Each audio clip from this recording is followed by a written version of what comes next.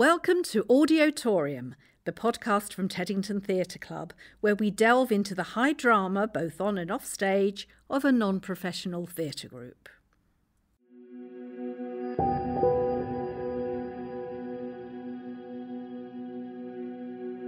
Teddington Theatre Club presents 13 Frights of Halloween. 13 tales of the strange and supernatural from some of the finest storytellers in weird fiction. Tonight, The Pit and the Pendulum by Edgar Allan Poe, read by Dave Brickwood.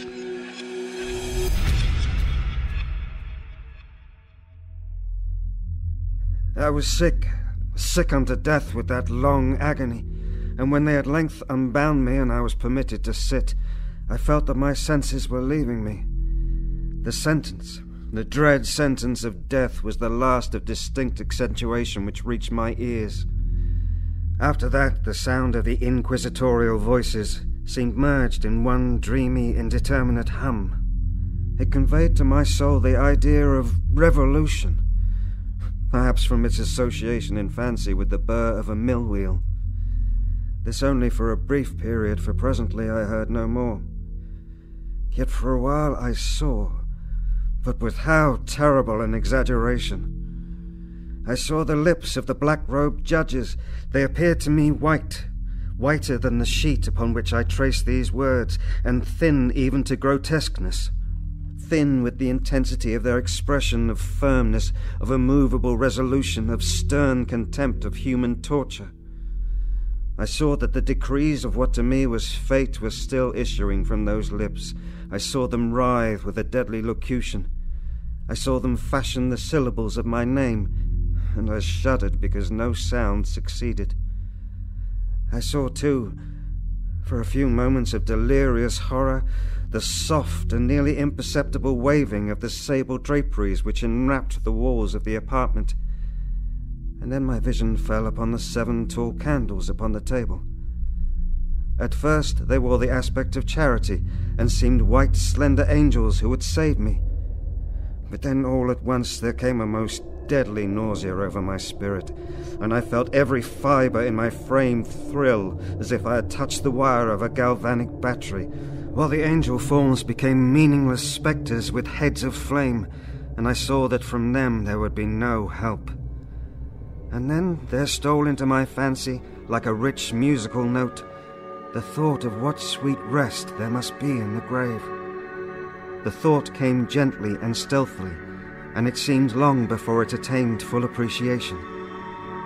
But just as my spirit came at length properly to feel and entertain it, the figures of the judges vanished as if magically from before me. The tall candles sank into nothingness, their flames went out utterly, the blackness of darkness supervened, all sensations appeared swallowed up in a mad rushing descent as of the soul into Hades.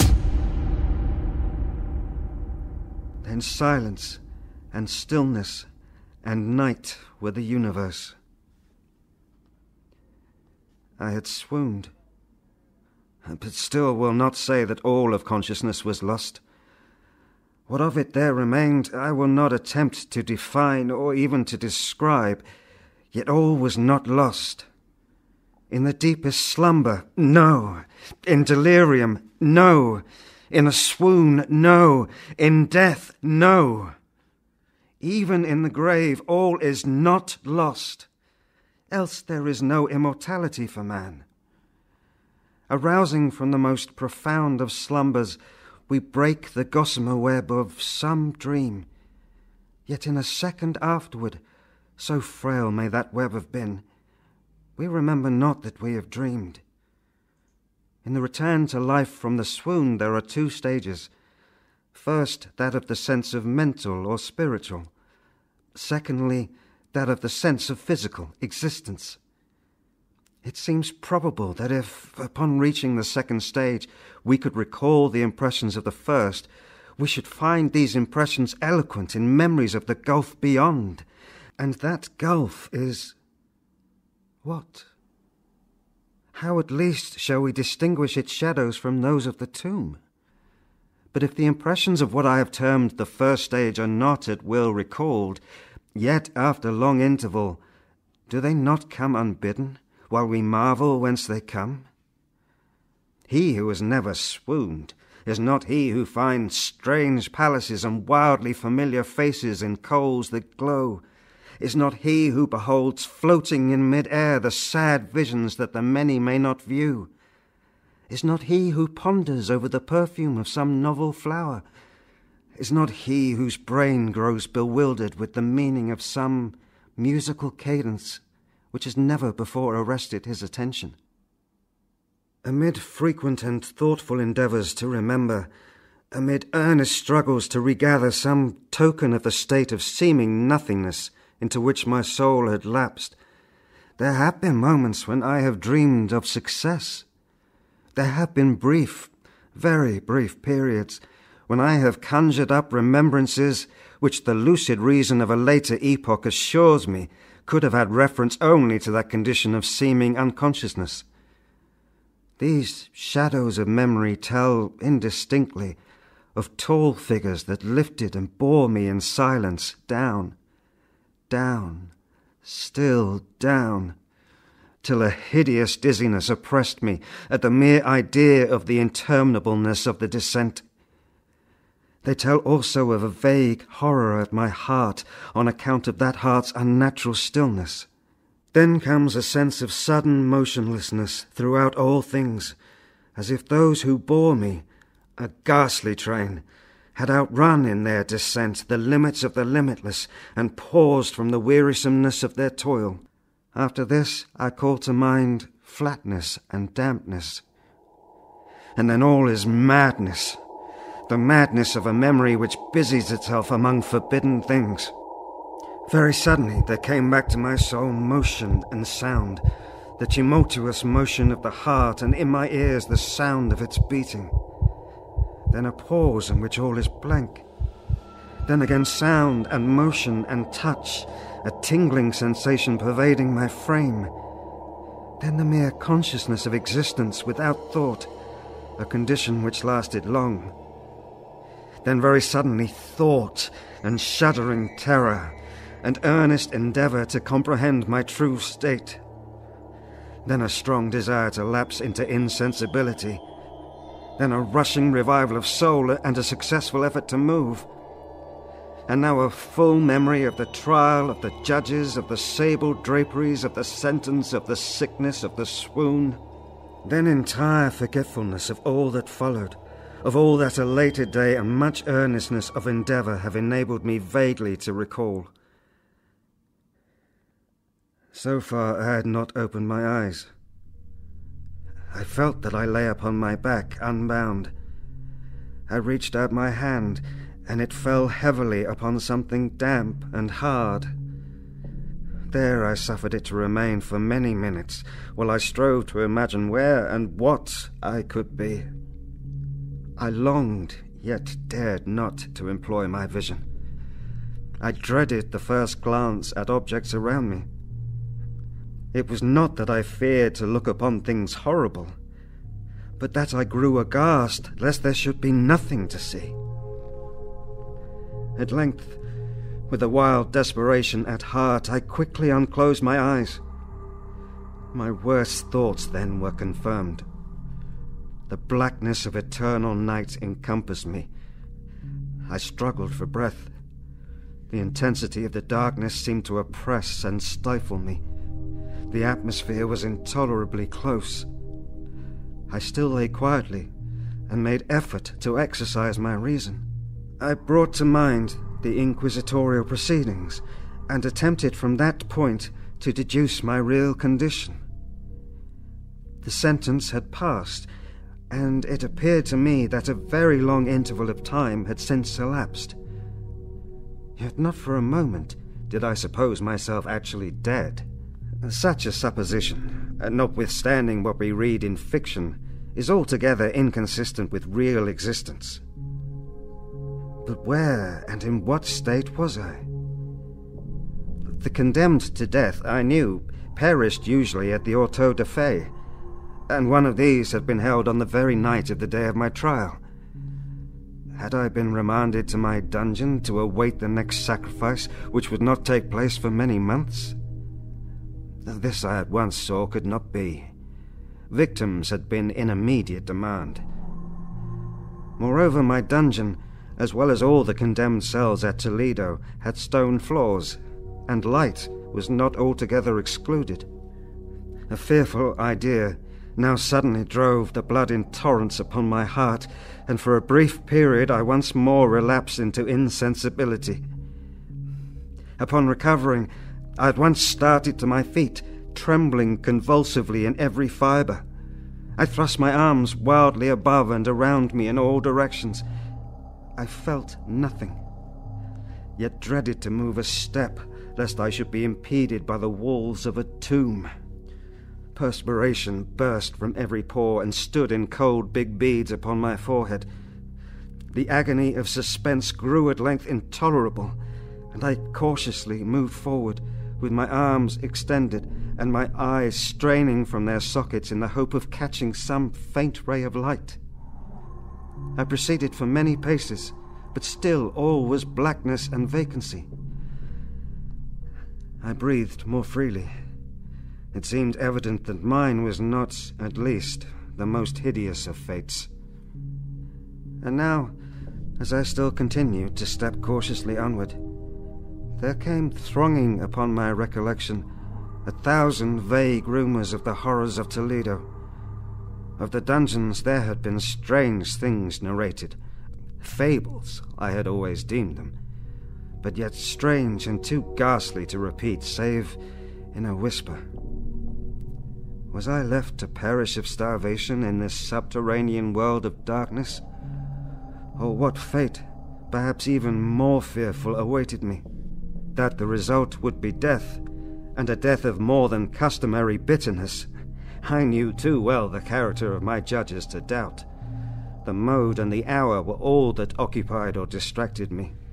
My outstretched hands at length encountered some solid obstruction. It was a wall, seemingly of stone masonry, very smooth, slimy, and cold. I followed it up, stepping with all the careful distrust with which certain antique narratives had inspired me. This process, however, afforded me no means of ascertaining the dimensions of my dungeon, as I might make its circuit and return to the point whence I set out without being aware of the fact, so perfectly uniform seemed the wall.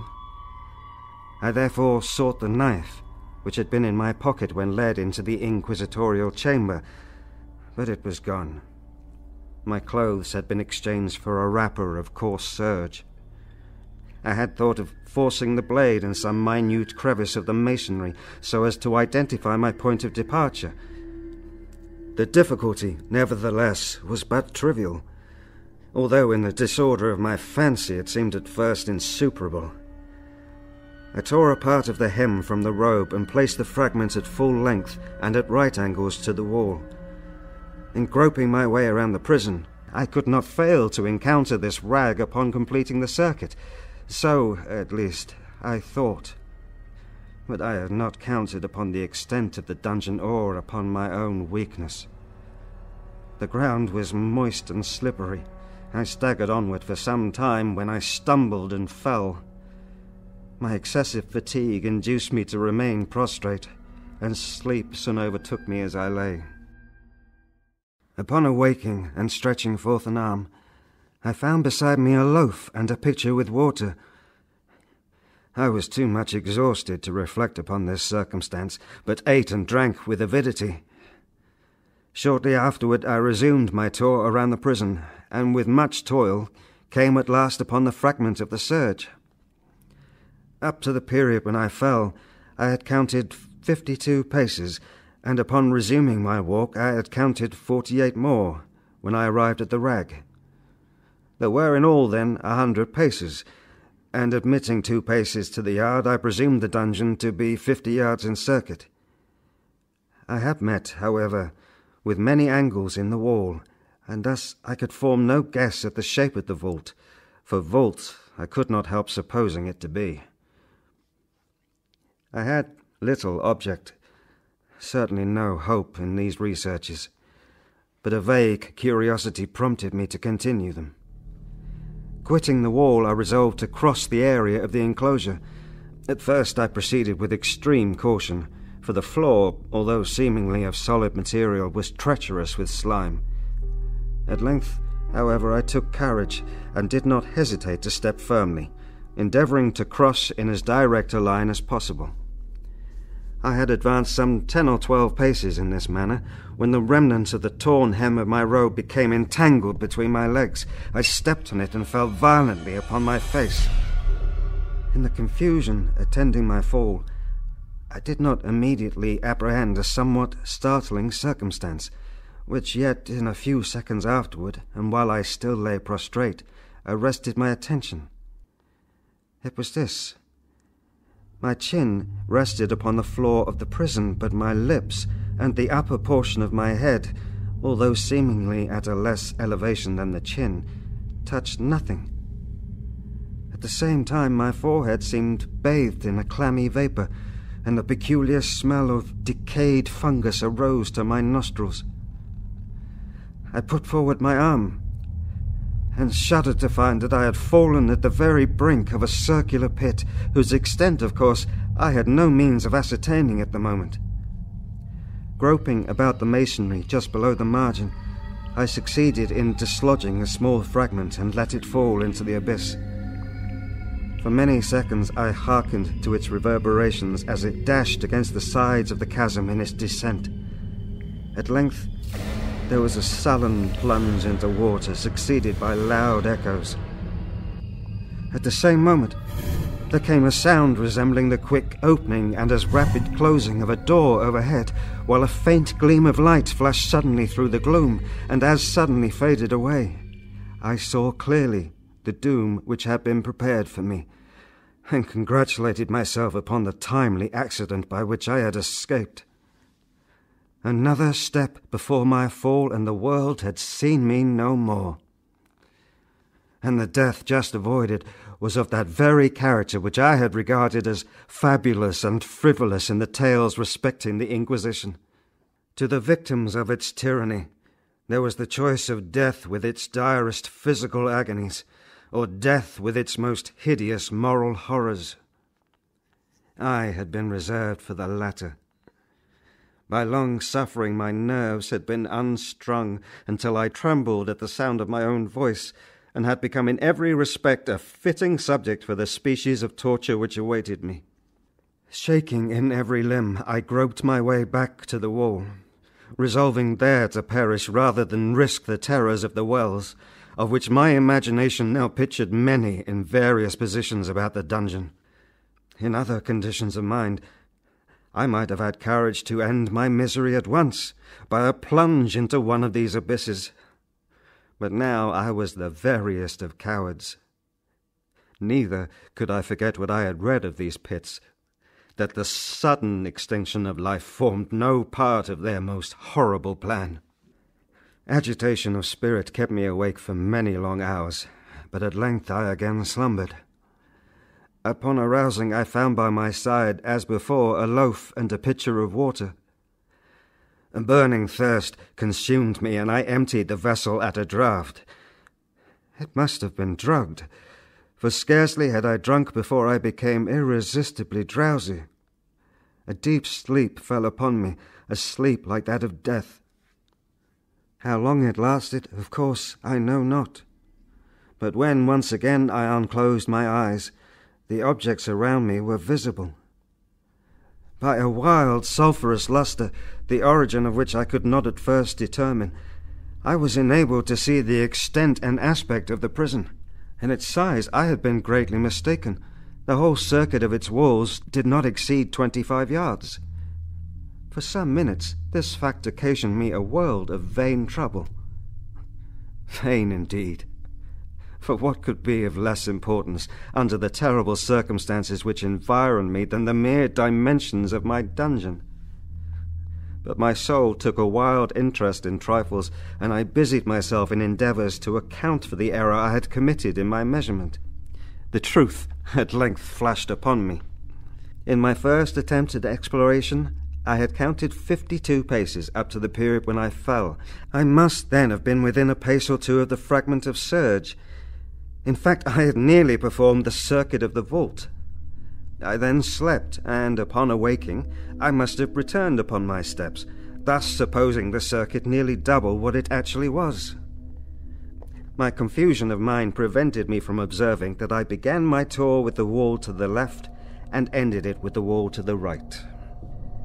I had been deceived, too, in respect to the shape of the enclosure. In feeling my way, I had found many angles, and thus deduce an idea of great irregularity.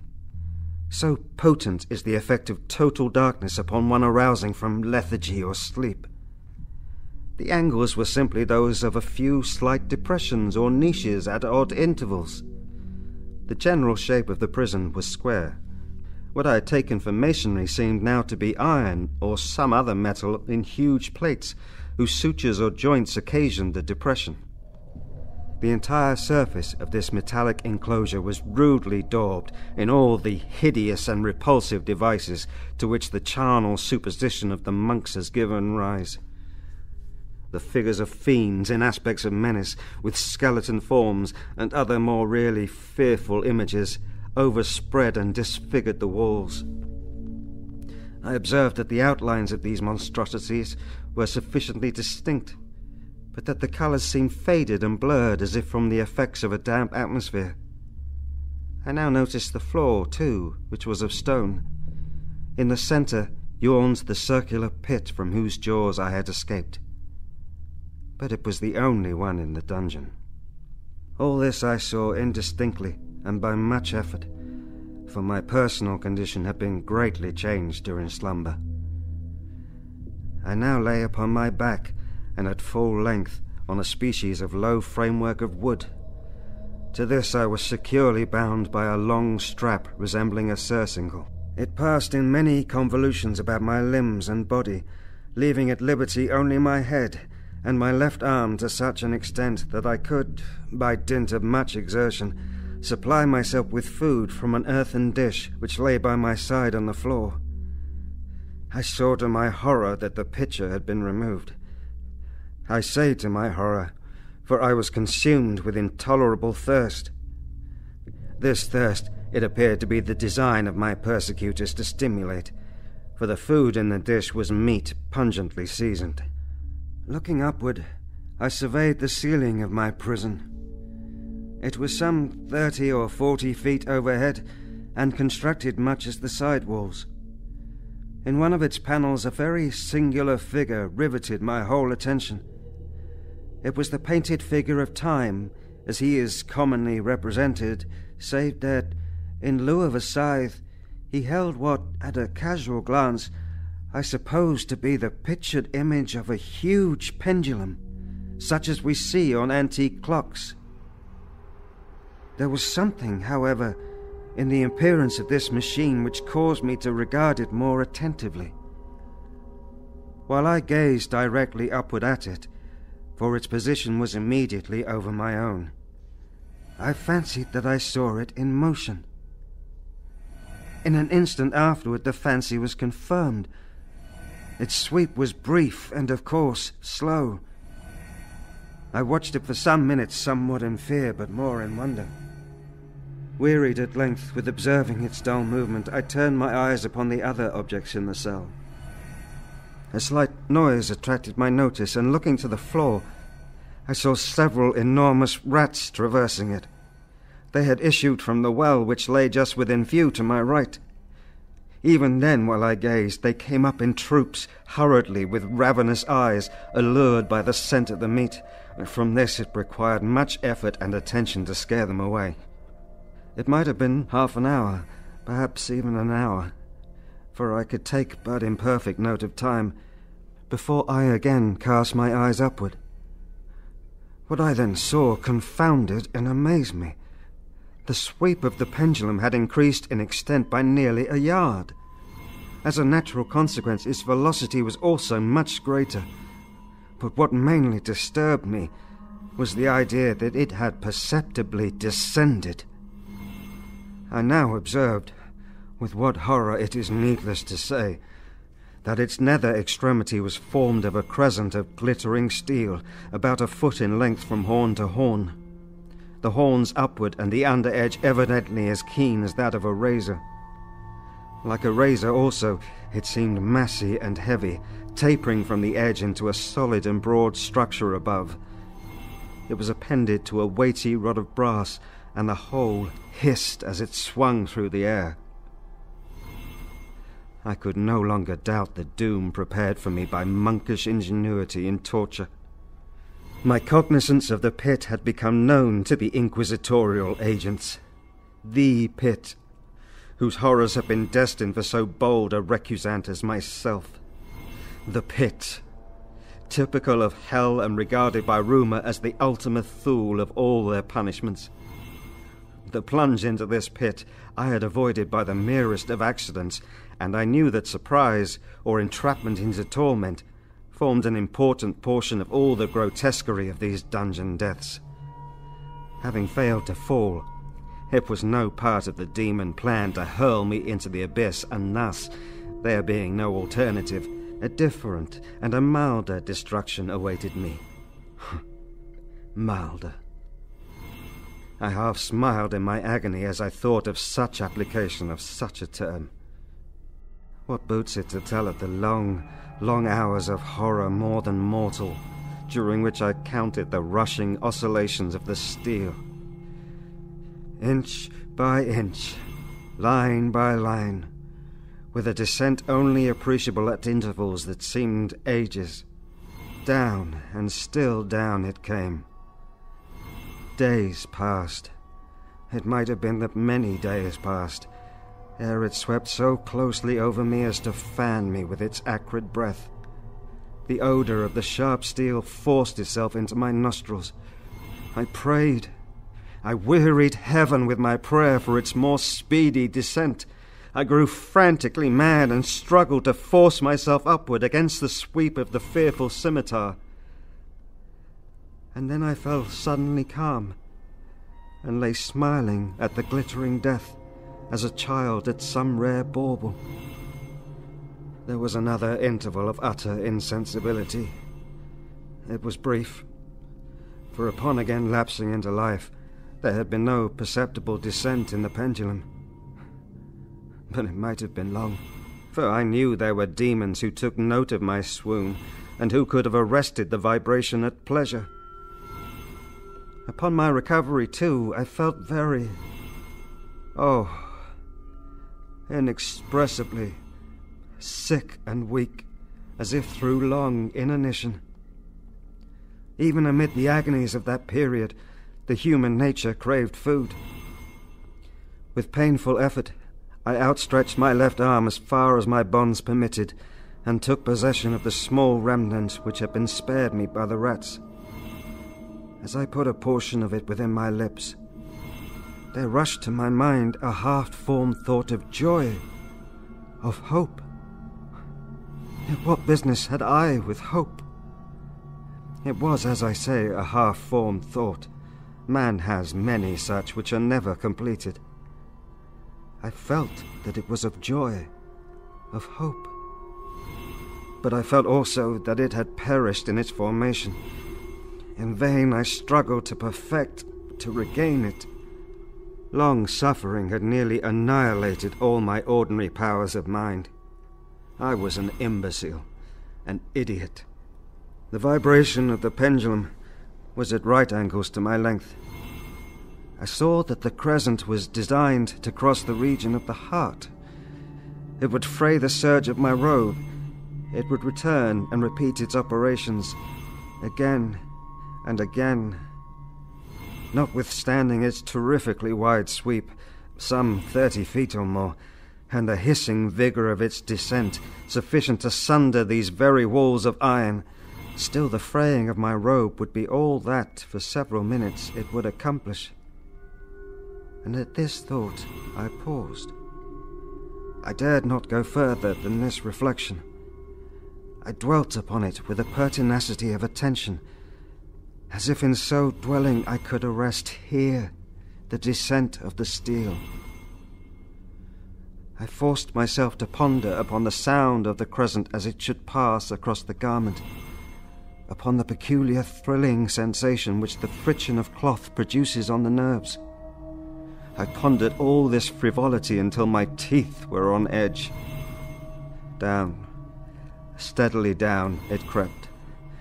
I took a frenzied pleasure in contrasting its downward with its lateral velocity, to the right, to the left, far and wide, with the shriek of a damned spirit. To my heart, with the stealthy pace of the tiger. I alternately laughed and howled as the one or the other idea grew predominant. Down, certainly relentlessly down. It vibrated within three inches of my bosom. I struggled violently, furiously to free my left arm. This was free only from the elbow to the hand. I could reach the latter from the platter beside me to my mouth with great effort, but no farther. Could I have broken the fastenings above the elbow, I would have seized and attempted to arrest the pendulum. I might as well have attempted to arrest an avalanche. Down, still unceasingly, still inevitably down. I gasped and struggled at each vibration. I shrunk convulsively at its every sweep. My eyes followed its outward or upward whirls with the eagerness of the most unmeaning despair. They closed themselves spasmodically at the descent. Although death would have been a relief, oh, how unspeakable! Still, I quivered in every nerve to think how slight a sinking of the machinery would precipitate that keen, glistening axe upon my bosom. It was hope that prompted the nerve to quiver, the frame to shrink. It was hope, the hope that triumphs on the rack, that whispers to the death condemned even in the dungeons of the Inquisition. I saw that some ten or twelve vibrations would bring the steel in actual contact with my robe, and with this observation, there suddenly came over my spirit all the keen, collected calmness of despair. For the first time, during many hours, or perhaps days, I thought. It now occurred to me that the bandage, or surcingle, which enveloped me, was unique. I was tied by no separate cord. The first stroke of the razor like crescent athwart any portion of the band would so detach it that it might be unwound from my person by means of my left hand. Oh, but how fearful in that case the proximity of the steel! The result of the slightest struggle, how deadly! Was it likely Moreover, that the minions of the torturer had not foreseen and provided for this possibility? Was it probable that the bandage crossed my bosom in the track of the pendulum? Dreading to find my faint and, as it seemed, my last hope frustrated, I so far elevated my head as to obtain a distinct view of my breast. The surcingle enveloped my limbs and body close in all directions save in the path of the destroying crescent. Scarcely had I dropped my head back into its original position when there flashed upon my mind what I cannot better describe than as the unformed half of that idea of deliverance to which I have previously alluded, and of which a moiety only floated indeterminately through my brain when I raised food to my burning lips. The whole thought was now present, feeble scarcely sane, scarcely definite, but still entire. I proceeded at once with the nervous energy of despair to attempt its execution. For many hours, the immediate vicinity of the low framework upon which I lay had been literally swarming with rats. They were wild, bold, ravenous, their red eyes glaring upon me as if they waited but for motionless on my part to make me their prey. To what food, I thought, have they been accustomed in the well? They had devoured, in spite of all my efforts to prevent them, all but a small remnant of the contents of the dish. I had fallen into an habitual seesaw or wave of the hand about the platter, and at length the unconscious uniformity of the movement deprived it of effect. In their voracity, the vermin frequently fastened their sharp fangs in my fingers. With the particles of the oily and spicy viand which now remained, I thoroughly rubbed the bandage wherever I could reach it. Then, raising my hand from the floor, I lay breathlessly still. At first, the ravenous animals were startled and terrified at the change, at the cessation of movement. They shrank alarmedly back. Many sought the well. But this was only for a moment. I had not counted in vain upon their voracity. Observing that I remained without motion, one or two of the boldest leaped upon the framework and smelt at the surcingle. This seemed the signal for a general rush. Forth from the well they hurried in fresh troops. They clung to the wood, they overran it, and leaped in hundreds upon my person. The measured movement of the pendulum disturbed them not at all. Avoiding its strokes, they busied themselves with the anointed bandage. They pressed, they swarmed upon me in ever accumulating heaps. They writhed upon my throat, their cold lips sought my own.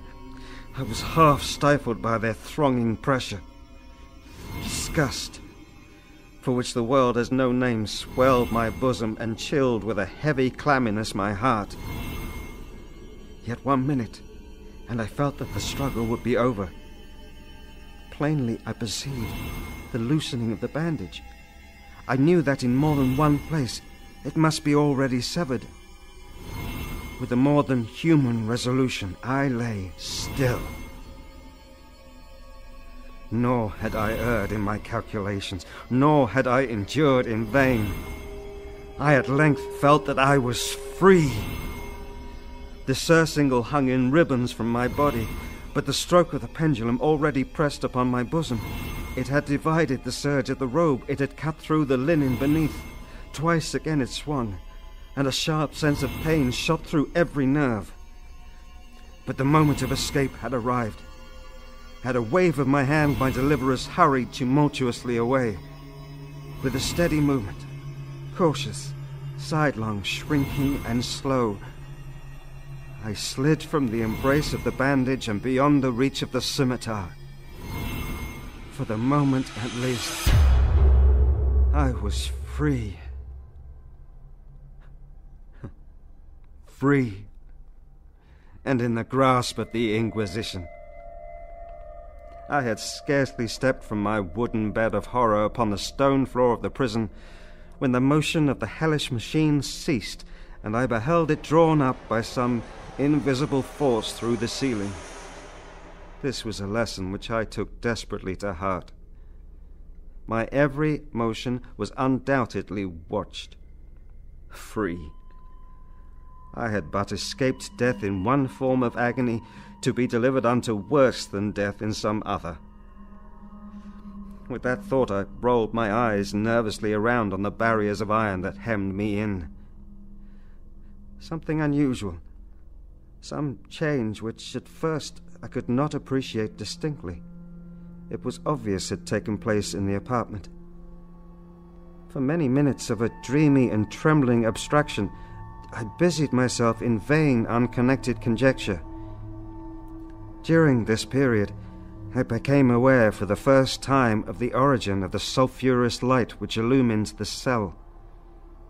It proceeded from a fissure, about half an inch in width, extending entirely around the prison at the base of the walls, which thus appeared and were completely separated from the floor. I endeavored, but of course in vain, to look through the aperture.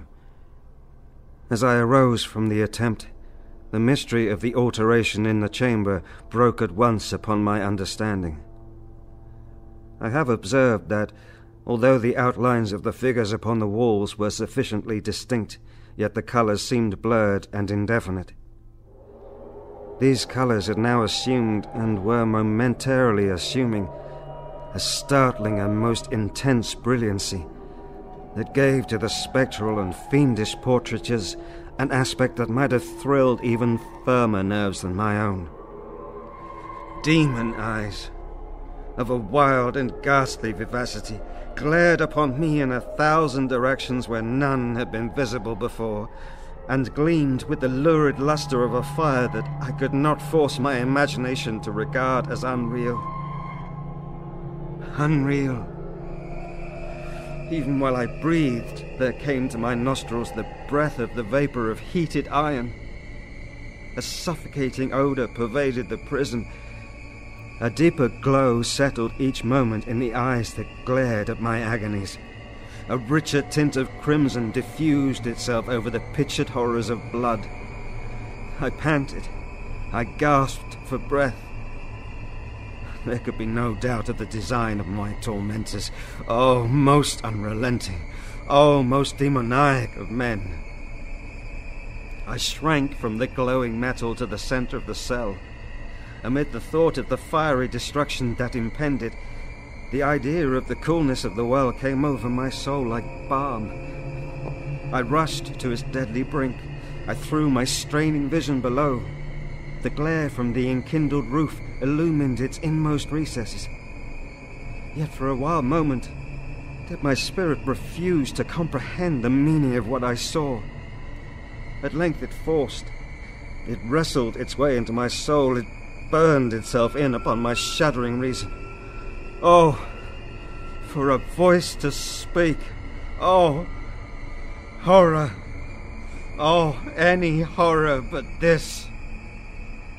With a shriek, I rushed from the margin and buried my face in my hands, weeping bitterly.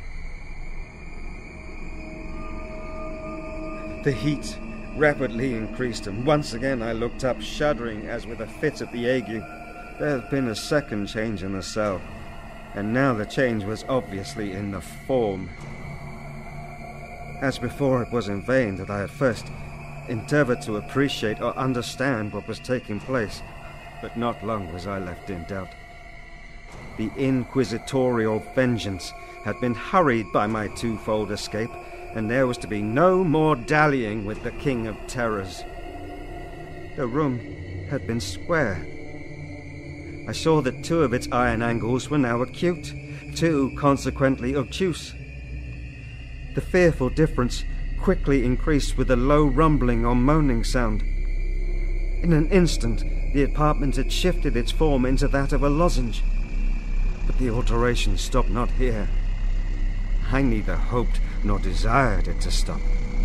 I could have clasped the red walls to my bosom as a garment of eternal peace. Death, I said. Any death but that of the pit. Fool. Might I not have known that into the pit it was the object of the burning iron to urge me? Could I resist its glow? Or if even that, could I withstand its pressure? And now, flatter and flatter grew the lozenge, with a rapidity that left me no time for contemplation. Its center, and of course its greatest width, came just over the yawning gulf. I shrank back, but the closing walls pressed me resistlessly onward. At length, for my seared and writhing body, there was no longer an inch of foothold on the firm floor of the prison. I struggled no more, but the agony of my soul found vent in one loud, long, and final scream of despair. I felt that I tottered upon the brink. I averted my eyes.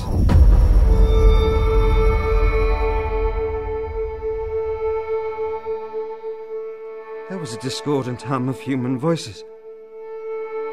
There was a loud blast as of many trumpets. There was a harsh grating as of a thousand thunders. The fiery walls rushed back. An outstretched arm caught my own as I fell, fainting into the abyss. It was that of General Lasalle. The French army had entered Toledo. The Inquisition was in the hands of its enemies.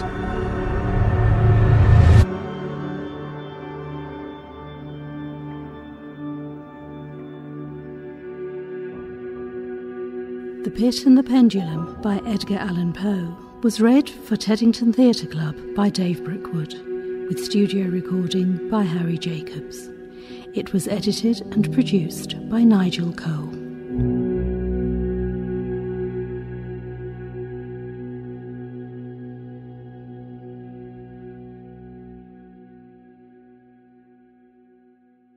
You've enjoyed this podcast, don't forget to rate, review, and subscribe to give us a little boost in the charts and to help other people find us.